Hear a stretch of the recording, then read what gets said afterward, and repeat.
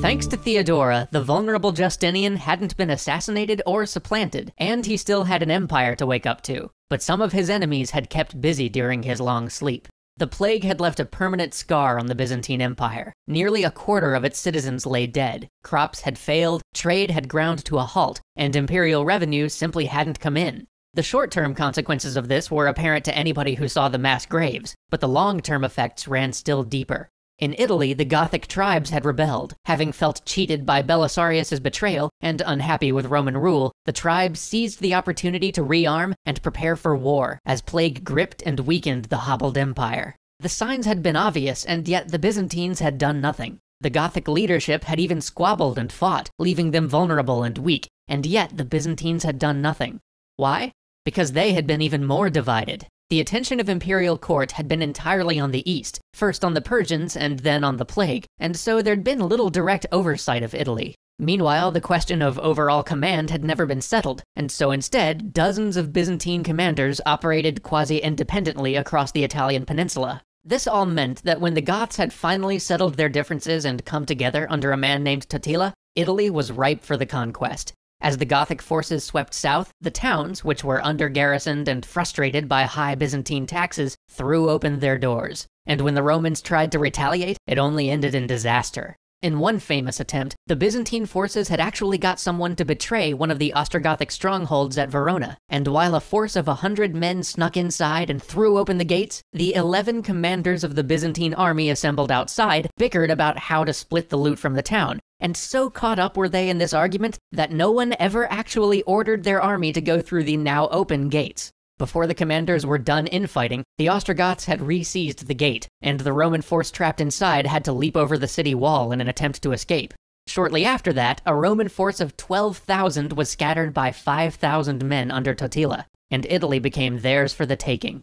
Save for a few major cities and a few well fortified coastal towns, all of Italy, all of Belisarius's hard won conquests, fell to the Gothic forces. Even Naples, with its strong walls, couldn't stand against the Ostrogothic king. Twice the Romans tried to resupply it from Sicily, but twice they failed. Once by having their fleet scattered by the fleet of Totila, and once by nature herself when the wind turned against them. And when Naples, isolated and starving, at last handed over the keys to the city, Justinian knew it was time. He needed to get Belisarius back in the fight.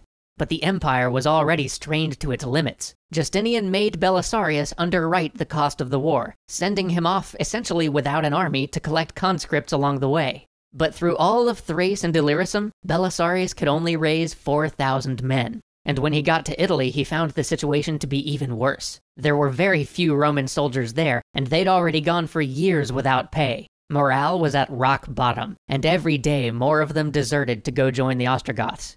Belisarius had to start all over again, from the very boot of Italy. He secured a few towns and established a presence in a few ports, but soon he found himself out of resources. He had neither the men, nor the arms, nor the supplies he needed. And at the same time, many of those that he'd recruited along the road to Italy got word of the fact that barbarian tribes had invaded their homeland and deserted to defend their own families and farms. And while Belisarius had a few successes and would on occasion even best Totila in the field, he could never capitalize on those successes enough to move the war forward. Plagued by insubordination and low morale, he couldn't even defend Rome, the city he had spent so much of his life trying to bring back into the empire, the goal that had personally cost him so much. The Byzantine Empire just couldn't support the war in Italy any longer. The ravages of the barbarians, the assaults of Khosrow, the utter devastation of the plague, all of these had sapped the empire of its vitality, of its strength. Its reserves had all been spent on monumental buildings and grand campaigns, and when these waves of tragedy had hit, there was simply nothing left to fall back on.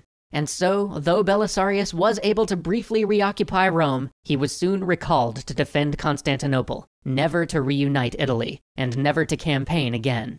And Rome, that city that was to be his and Justinian's legacy, fell again to the Ostrogoths not long after he departed. Meanwhile, rebellion had flared up in Africa, and the same old story of lack of pay, disunity of command, and plague spreading through the army kept the rebellion alive for years. Fortunately, this rebellion was eventually successfully quelled the same year Belisarius withdrew from Italy, a much needed victory amidst so many losses. It had cost more time and money than it ever should have, but at least it would not go the way of Italy. Then, in 548, Theodora died of cancer. Justinian wept at her casket, the indomitable emperor in tears for all to see. He would not marry again, even though he lacked an heir. He chose to name his nephew in law as his successor, rather than betray her memory. But even as she had neared her death, the entire time he never forgot his empire. After so many failures and setbacks, many others would have just sunk into dejection and let the empire rot, but never Justinian.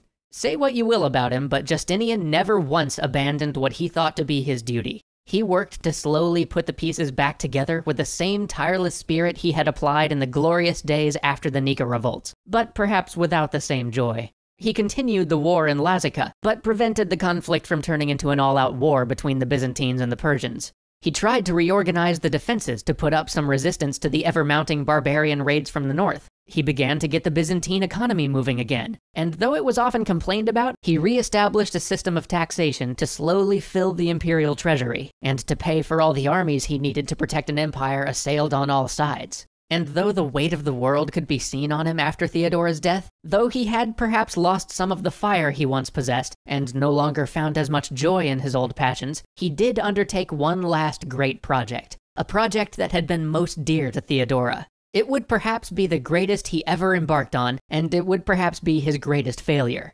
One last time, Justinian attempted to heal the split in the church that had plagued his empire. A split that would do more damage to the empire than barbarian raids or Persian kings, one which would last for centuries. If we talk more about Byzantium in future series, this split is gonna keep coming up. Now, when most of us think about splits in Christianity, we usually think about the split between Protestant and Catholic, but this divide was just as bitter and ran just as deep. This was the divide between the Monophysites and the Orthodox. It was a problem that Justinian had studied for years. Theodora had been Monophysite. He himself was Orthodox. Their reign was supposed to be a symbol of unity, and yet the divide had persisted. He had many times tried to find solutions, but nothing had ever stuck. But he had one final grand idea. The church was split concerning a complex theological question over the singular or dual nature of Christ, but in practicality, it really came down to whether one accepted or refused the decisions of the Council of Chalcedon, where the dual nature of Christ had become orthodoxy. Justinian thought that he'd found a clever solution in the fact that the three strongest voices supporting that dual nature view also came from the now considered heretical Nestorian branch of Christianity. So, if he could just get everybody to condemn those guys, they could serve as scapegoats for the problem. Monophysites could accept Chalcedon, and everybody could move on. He had made this proclamation in the year 543 while Theodora was still alive, but he would fight to get the leaders of the church to sign on for the rest of his life. He worked to see that the Pope, who was staying with him during a period where he was exiled from Rome because it was in Ostrogothic hands, endorsed his view. The Pope eventually gave in and agreed, though with great reluctance because he knew exactly what it would mean to his followers in Italy. He knew what would eventually prove true. This would not heal the schism in the East. Rather, it would simply end up creating a schism in the West. And so Italy has fallen. Theodora is gone, and the great project that their union was supposed to symbolize, the healing of the faith of the empire, lies in tatters. But slowly, Justinian is rebuilding. He's not done yet. So join us next time as we conclude the reign of Justinian.